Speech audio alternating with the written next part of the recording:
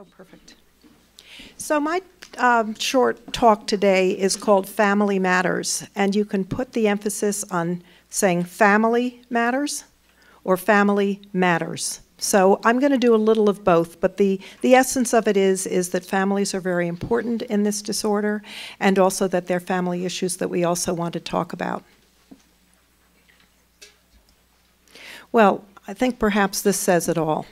Borderline personality disorder, the disorder doctors fear the most. So this was on the cover of Time magazine uh, almost about two years ago. So those of you who are family members and read this, I'm sure it was not something that was very exciting to see. But it is something that's reality, and in parts why we're here is to try to sort of challenge the myths and build more awareness on this disorder and get people the help that they need. Actually, in the mid 80s, this was an article that came out about for all mental health professionals. They were not treating borderline patients necess necessarily. This is what was found to be the three highest stressors for professionals suicide attempts, threat of suicide, and patient anger. Certainly sounds like our population. We also have a little data just to show what it's like for family members who have a relative with BPD. This is um, an article uh, um, that we wrote several years ago. It's called the Family Perspective Survey. And what we did was we looked, uh, we gave out questionnaires to family members with a relative with BPD and family members with a relative primarily with Axis 1 schizophrenia. And this is what we found.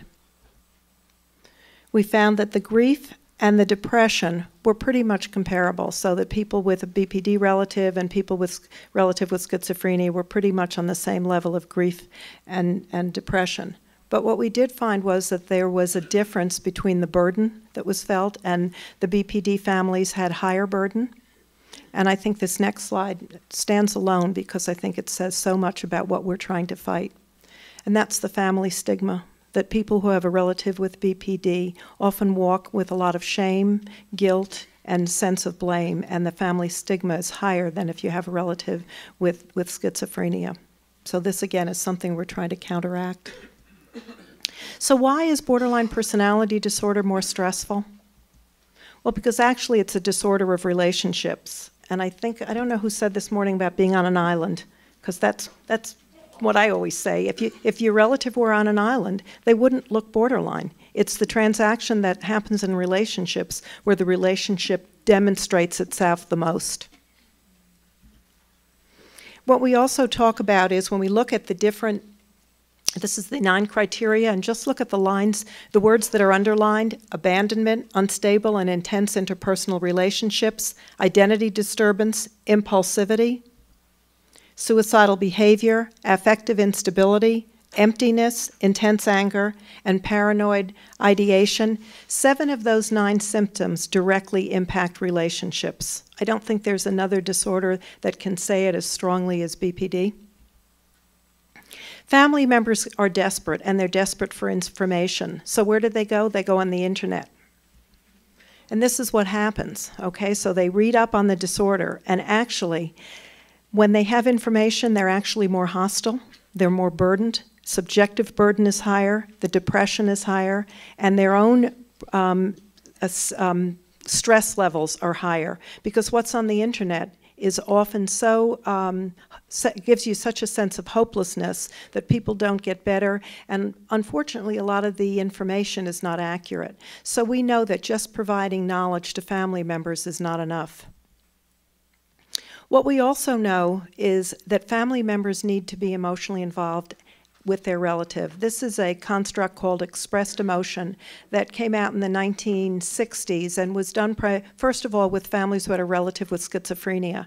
And then it went on to studying families who had a relative with depression, eating disorders, alcoholism, uh, uh, many diagnoses. And what was found was that with other populations, that the more there was critical comments made by the relative, the more there was hostility expressed about the, the individual patient, and the more emotionally over-involved the family member was, the poorer the patient did. Well, what we found with borderline patients is that critical comments doesn't really impact. It doesn't mean you should be critical, but that it just doesn't have the same impact that it does with other disorders. That hostility doesn't have the same level of impact. But what we did find out was that involvement, and we have the word quote over in parentheses because when you have an ill child, I don't know what it means to be over involved. I think it just means to be involved and emotionally connected. So we, we, we encourage families to stay the course because that's who in the long run is going to be there. But we also know that it's very hard for families to do that because of the way the disorder impacts um, relationships. We also know that families make a difference, and I just want to give you a little information on our organization because this is what families have done. I'm the only professional who is part of the structure of the organization, and the rest are all family members who have truly made a difference. Many, of some of them who are in the audience, the Halls, Trish Woodward, um, Donna Shields, a lot of people in the audience are trainers this weekend for Family Connections, our family members. So families have made a difference. This is our organization. We're a non-for-profit, started in 2001. We're chartered by the Board of Regents of the New York of State of New York. We're co-founded by four family members, two consumers, and one mental health professional, and all funding and donation go to support programs. We're an all-volunteer organization, so no money goes out to pay people's salaries. Everything that we do, we do is done, you know, um, on our time. But what, any money that does come in, and let me say there's not a lot of money coming in, um, goes right back into doing programs. The mission statement of our organization is to raise public awareness, provide education, promote research on borderline personality disorder, and enhance the quality of life of those affected by this serious mental illness these families organized themselves and went down to Congress and lobbied Congress to recognize BPD. And so House Resolution 1005 was passed declaring that May is BPD Awareness Month. And I'll let you read in your booklet what it says. But every May, we take the month to particularly recognize the disorder. What we've also done, and what, why some people are here today, is that we've designed a program called Family Connections. And it's a program that's 12 weeks. It's multiple families getting together at one time. It's community based. We don't do it in hospitals, we do it out in the community, sometimes at NAMI offices um, sometimes at churches or synagogues. It's for family members, parents, partners, spouses, and adult children. And what we focus on is teaching the family members the DBT skills and strategies.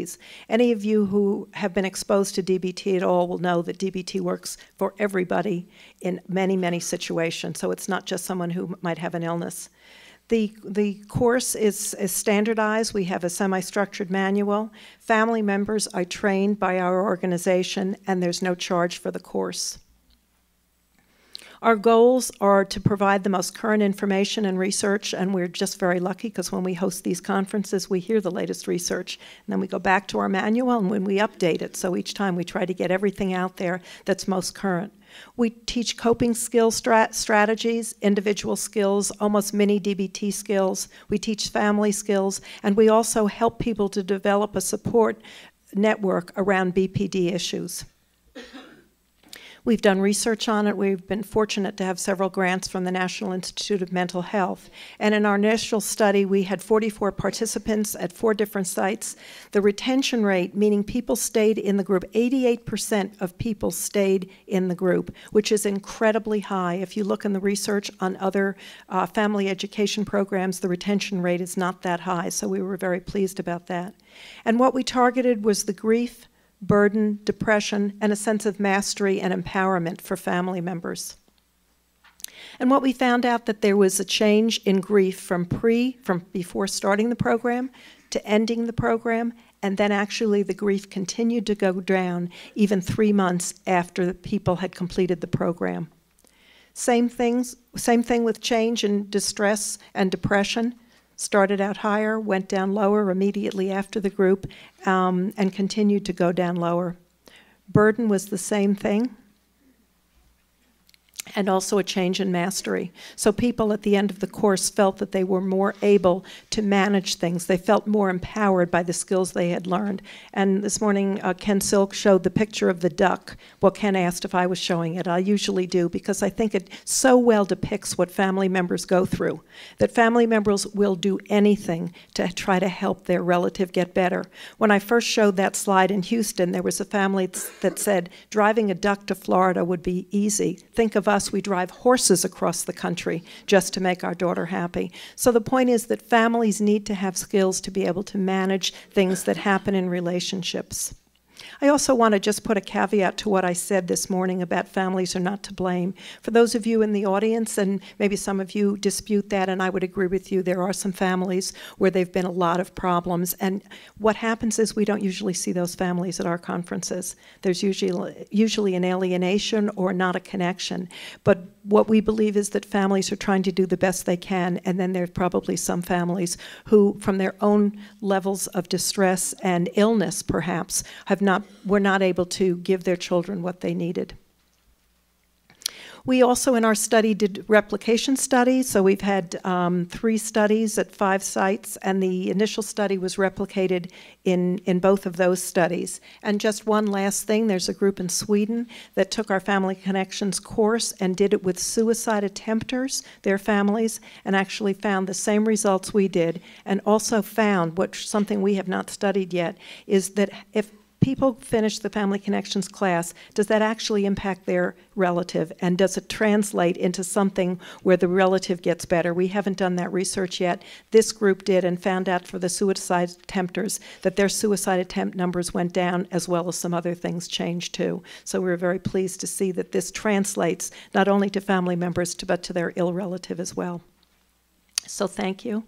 It's now my pleasure to introduce Keven Dawkins, who's going to do a few minutes. The video that you saw with Stacy, Keven has put together a five-part series, and he just wants to share a bit about what he's done and some of the research that's come out of those that video series. Keven. Let's get you up. We need to find your thing. Where's Billy? well, while we're looking for the slides, um, I just have a few comments. One is um, I very much appreciate the opportunity to, to be here and share with you um, what we have learned about the video series you put together. We have a table set up outside and I'd be happy to talk to you about the details uh, of how we got funded for that and what we uh, attempted to do. But we were funded by NIMH and part of the deal was we uh, had to conduct a randomized control trial. It's one thing to make a very nice video project and it was a whole other thing uh, to determine whether or not this was helpful for families. And I think it's most appropriate that this part of the agenda is called Family Matters because families really do matter.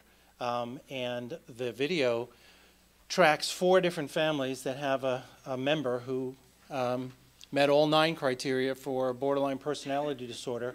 And they recount their journey from a life of complete chaos to one where they've actually been able to restore their relationship with their loved one and the loved one themselves has recovered and no longer meets criteria for borderline.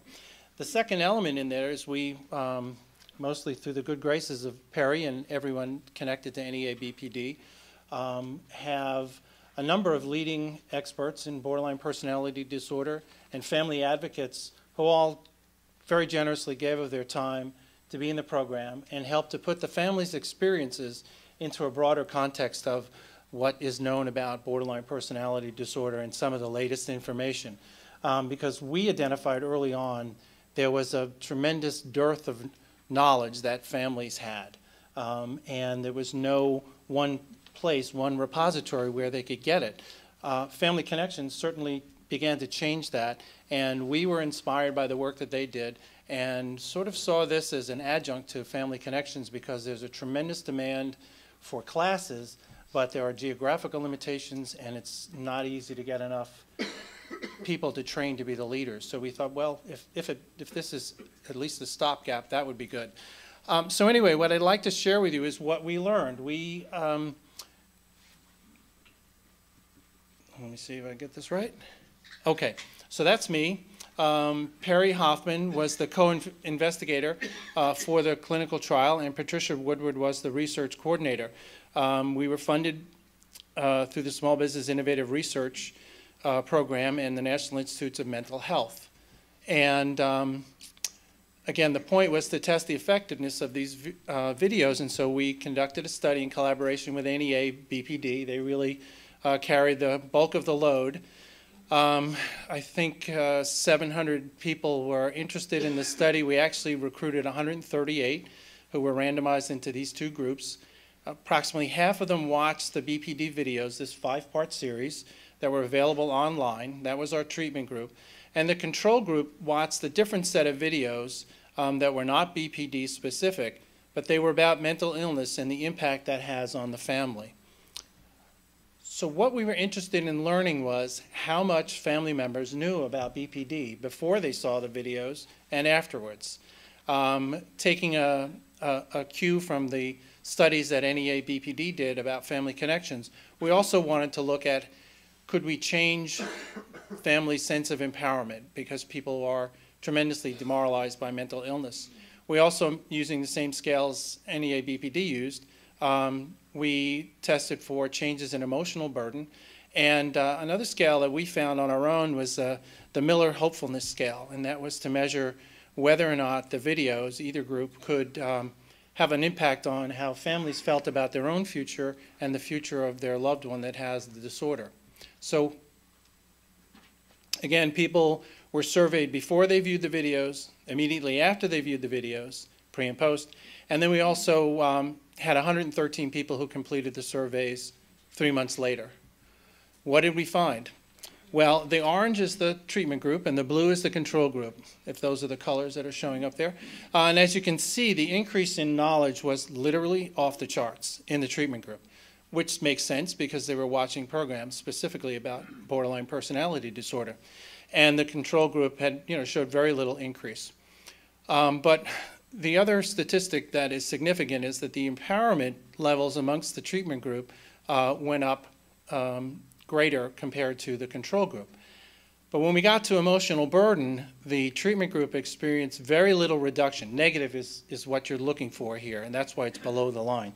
Um, but the treatment group um, did demonstrate uh, a fair amount of reduction in their emotional burden after seeing these programs. And both groups experienced a, a, a bit of um, hopefulness, a bit of increase in hopefulness.